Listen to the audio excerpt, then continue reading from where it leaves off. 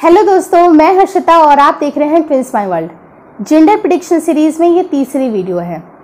और अब तक जितनी भी वीडियोस आ चुकी हैं सीरीज़ में, या फिर आने वाली हैं, या फिर इसके पहले भी मैंने कुछ वीडियोस बनाए थे जो कि जेंडर प्रिडिक्शन के ऊपर थे तो एक चीज़ मैं आप लोगों के साथ क्लियर कर देना चाहती हूँ कि मेरा चैनल बॉय और गर्ल में किसी भी तरह का डिस्क्रिमिनेशन नहीं करता है। As you all know I am a twin mom I have a baby boy and a baby girl too तो that's why both kids are very special for me और आप लोगों से भी मेरी यही अपील है कि अगर आपके भी बच्चे हैं, चाहे वो लड़का है, चाहे वो लड़की है, आपके खुद के हैं।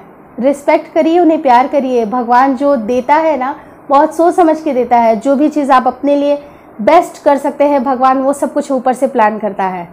तो इसलिए जो लोग इस तरह की वीडियोस देखते हैं या फिर उनकी भावनाएँ गलत हैं मे बी कह सकते हैं तो उनके लिए ये वीडियो नहीं है।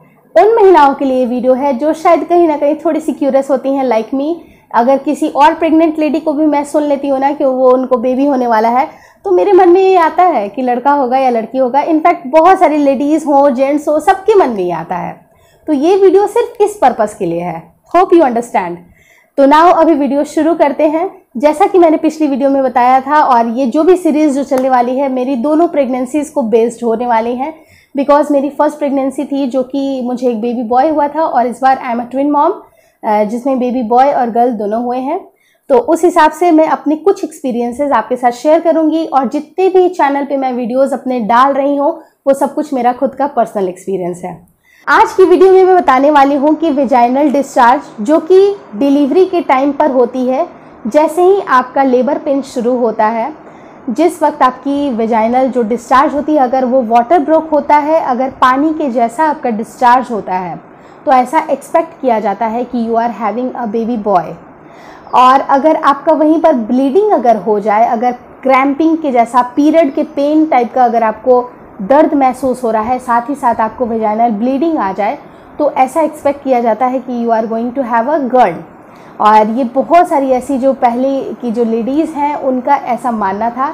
But this is not hundred percent true कहीं कोई ऐसी रिटर्न बात नहीं है, लेकिन बहुत लोगों के साथ ये बातें सटीक बैठी हैं। अब बात करते हैं कि मेरे खुद के पर्सनल क्या एक्सपीरियंस थे। जैसा कि मैंने बताया कि फ़र्स्ट प्रेगनेंसी मुझे बेबी बॉय हुआ था, इस केस में भी जाने अनजाने मुझे नहीं पता था ये फैक्ट बट ये बातें सही हुई हैं।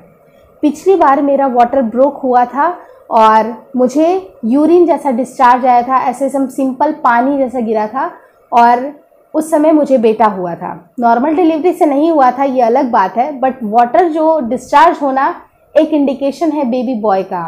और this time this is a plan C section तो इस बार ऐसा कुछ भी नहीं हुआ। डॉक्टर ने मुझे कंप्लीट एक डेट दिया हुआ था, उसके हिसाब से मेरी सर्जरी हुई थी। बिकॉज़ कुछ कॉम्प्लिकेशंस थे मेरे ट्विन प्रेगनेंसी में तो दैट्स वाई इस बार मैं कुछ बता नहीं सकती हूँ कि वाटर आया या ब्लड आया। लेकिन मेरे क्या एक्सपीरियंस थे, मैंने आपको क्लियर कर दिया। होप आपको ये वीडियो अच्छी लगी होगी। अगर जेंडर प्रिडिक्शन में और भी क्वेरीज हैं आपकी तो प्लीज़ मुझे कमेंट ज़रूर करिएगा। और मेरी बातें, मेरा चैनल आपको कैसा लग रहा है लाइक डिसलाइक से प्लीज़ बता दीजिए। Thank you so much for watching twins my world